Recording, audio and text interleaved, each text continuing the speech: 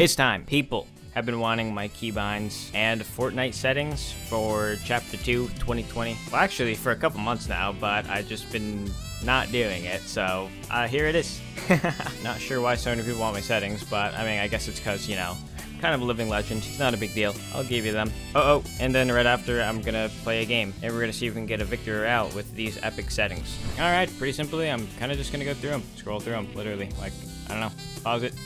If you want to copy them, these are what my settings are currently. I do change my shadows to on sometimes, but that's just because I kind of like shadows.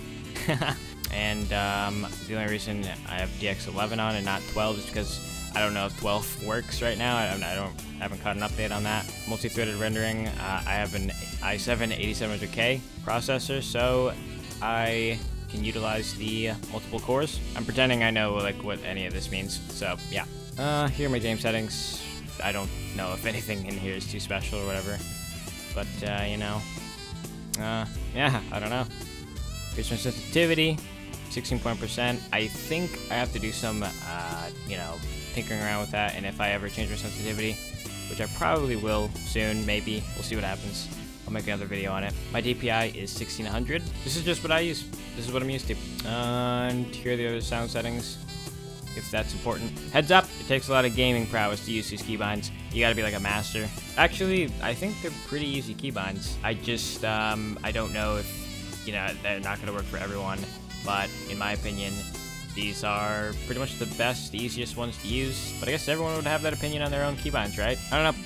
Let me know what you think about them. It's uh, obviously a long list because game's had like a thousand vehicles, so you know, go through them.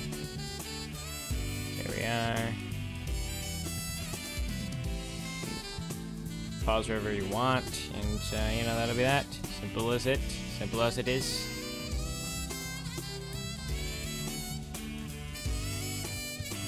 People also have been wanting my PC specs, but I think I'm going to save that for like my Instagram or something like that. I've been using that again, so if you want my specs, I'll be posting that there eventually. And as for my setup, if you want to see what it actually looks like, go to my Twitter, at ThatJuger, for both social medias. Anyways, time to hop in the game and see if we can get a win. Jugger, okay, so, yeah, of course, I don't know where I'm going, I'm just dropping it, I assume I'm going to get legendary in a second. Oh, he's the best player already.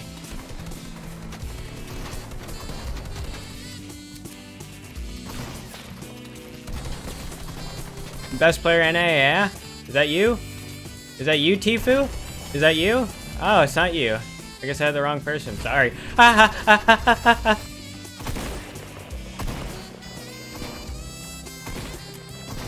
what?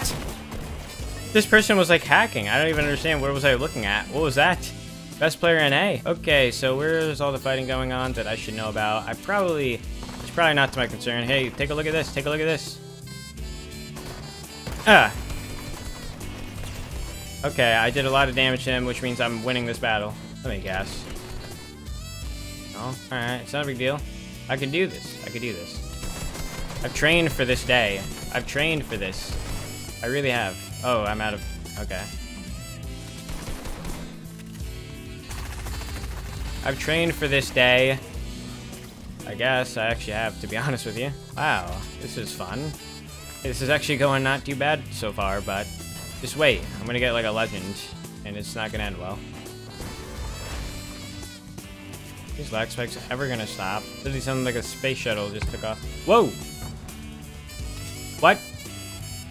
What are these crazy loud noises? Oh, somebody's somebody's driving a boat on land and they're tearing everything apart. What are the odds? Should I just... Oh! What? His boat just has a mind of his own? Okay, step aside.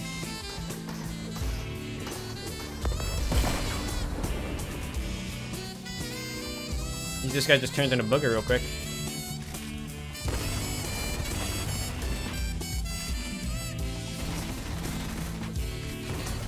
Yeah. Man. Okay. That guy just got owned. Huh? Is this a guy? Bots exist still?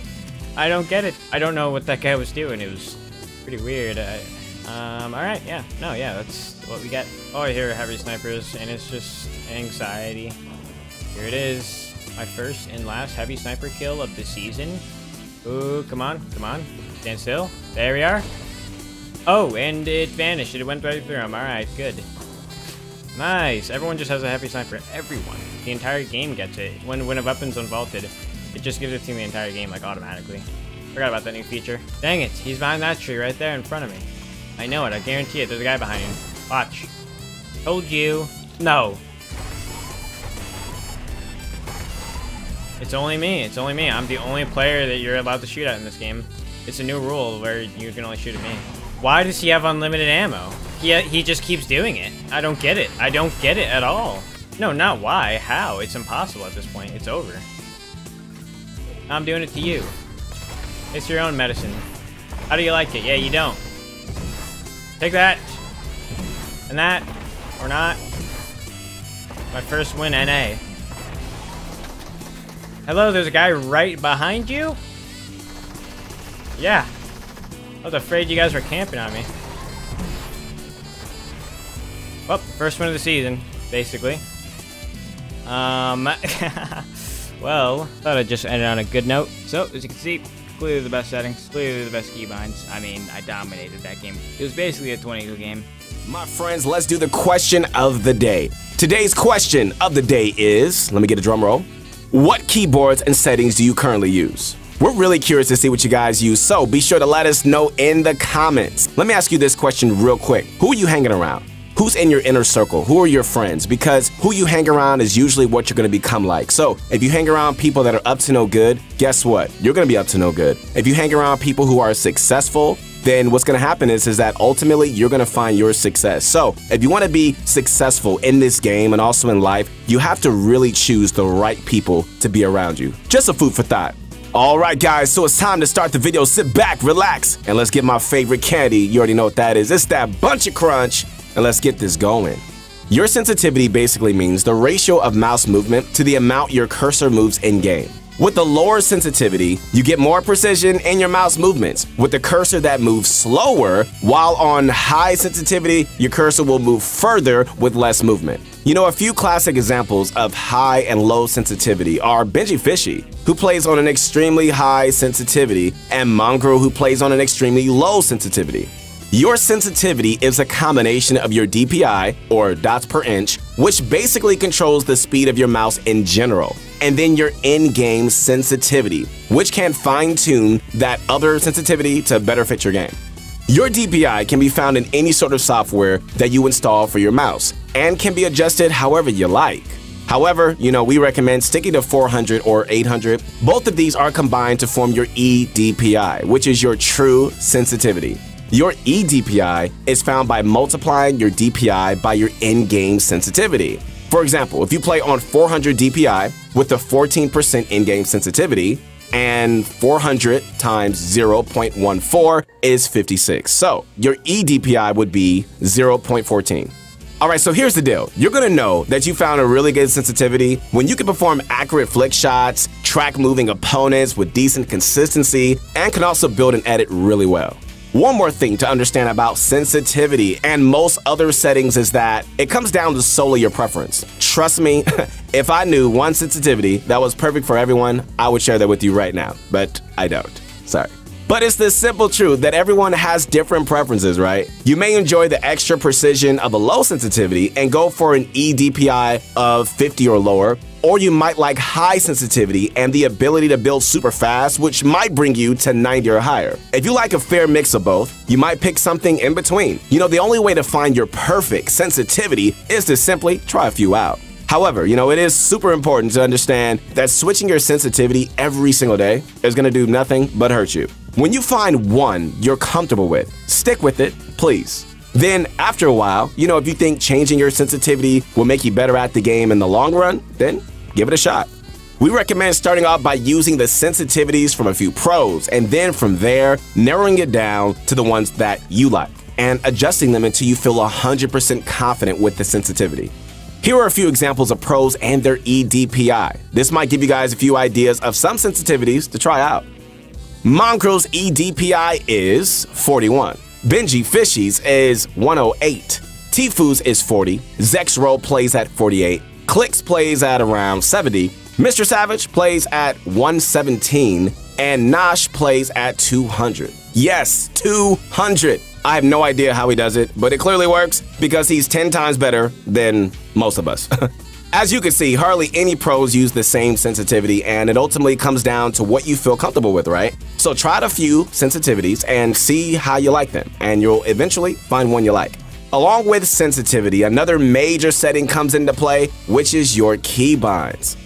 Alright, so your keybinds are another huge setting which can heavily influence your gameplay. It's important to find the optimal keybinds so you can hit your buttons quickly and efficiently. There are three important aspects of your keybinds that you have to think about when deciding on your binds, okay, which include distance from WASD, finger spreading, and utilization of mouse buttons.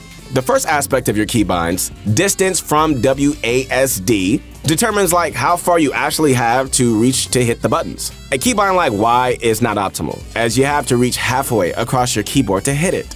However, you know, a key like E or F is great as they're both right next to WASD and aren't difficult to reach at all. So prioritize your building, guys, editing, and use keybinds, all right, by putting them as close to WASD as possible. A few examples of close binds that you should be using include Q, C, V, F, E, R, Tab, Left Shift, and your first four or five number keys. Second, we've got your keybind spreading. Putting too many keybinds on one finger will put way too much stress on that one finger, thus reducing your speed.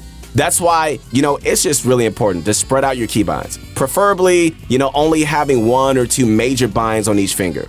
A huge mistake I see a lot of new players make is using a keybind setup with all index finger binds, something like E, F, R, T. Alright, this might work for like some people, but it's much less optimal, and we recommend spreading your binds out as much as you possibly can before resorting to something that isn't optimal.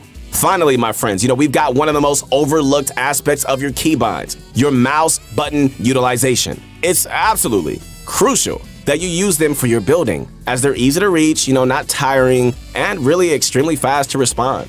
You know, most people use them in one of two ways either for their wall and ramp, as those are your two most used build pieces, or on ramp and cone, as your cone won't be used quite as often in conjunction with your other pieces. You know, I know a lot of people who prefer the ramp cone mouse button layout, but it's totally up to you which combination you like.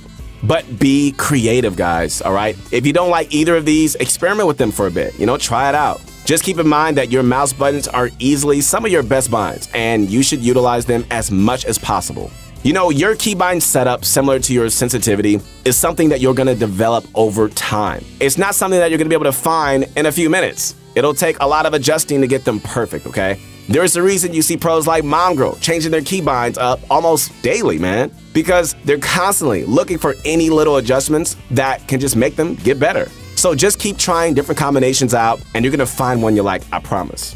Okay, so now that we've gone over all of these crucial settings, there's one more in-game setting to go over, and that's your visual settings. All right, so as for your visual settings, you know, the setup is pretty simple. First, we recommend setting everything to low except for your view distance, okay? Which should be either high or maximum, depending on the power of your PC. These settings are gonna give you guys the best performance, but if you're the aesthetic type and you want the best looks, then you can tweak and adjust them however you like.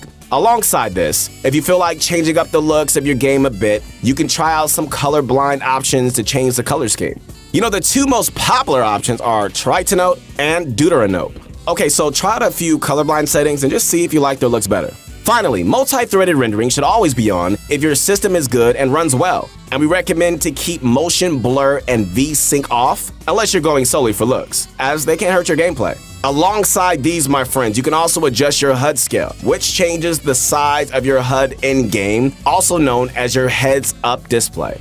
Your HUD can be adjusted to be larger or smaller as you see fit, and we recommend testing out a few different HUD scales to see which ones you like. Alright, so as for the best of the settings like auto open doors, confirm edit on release, auto sort consumables, and like others, you know, we can't truly give a definitive like yes or no. These settings simply boil down to like whether or not you prefer them. We recommend giving every setting a fair shot and playing with it for a few games, you know, adjusting them, you know, to however you see fit. Try out each setting individually and just see if you like using it and just see if it helps.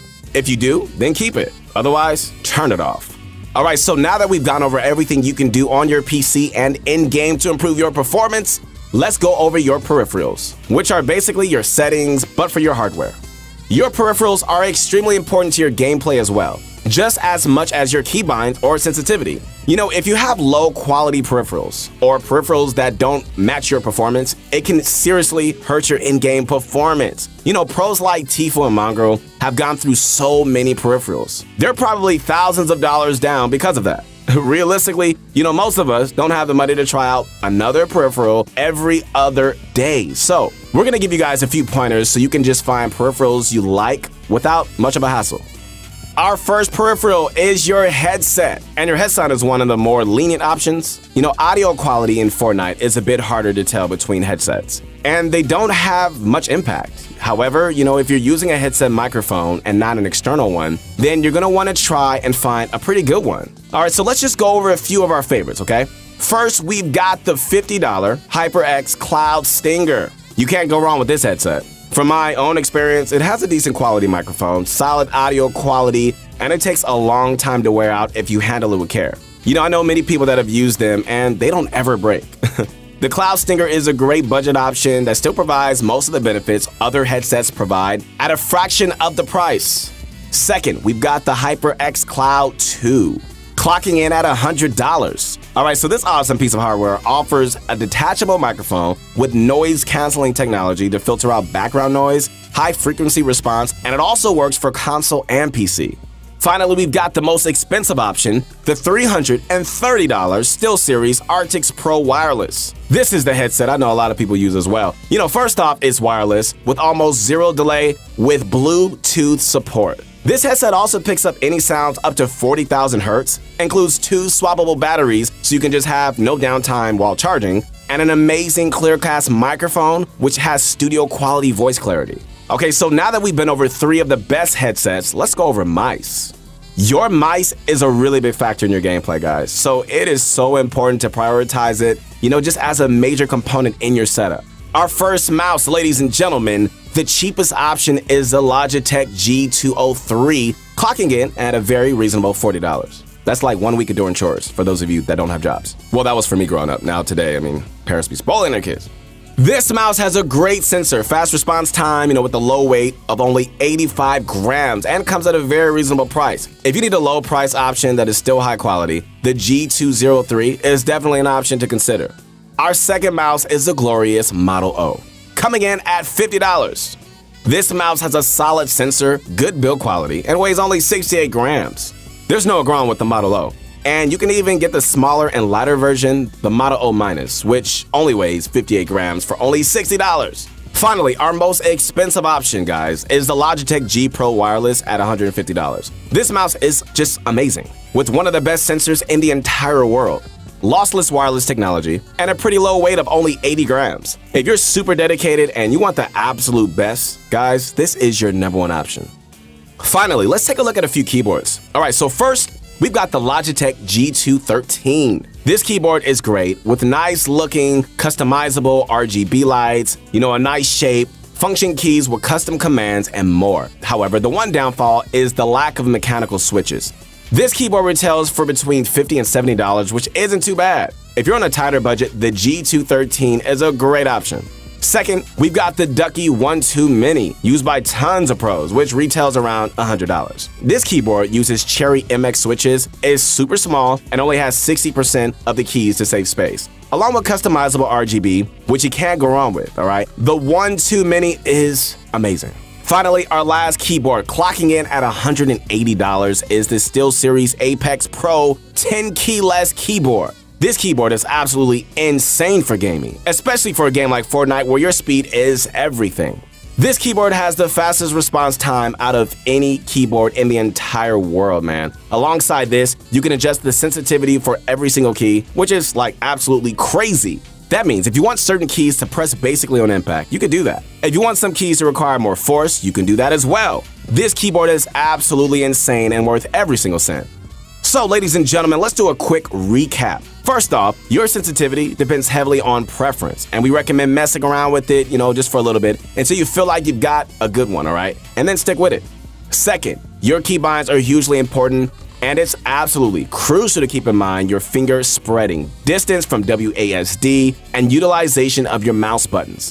Third, focus on keeping your visual settings all on low performance, apart from your view distance. Finally, picking out the best peripherals will play a huge role in your gameplay. And it's so important, guys, to find peripherals you enjoy using and are comfortable with so that you can just play as well as possible. All right, guys, once again,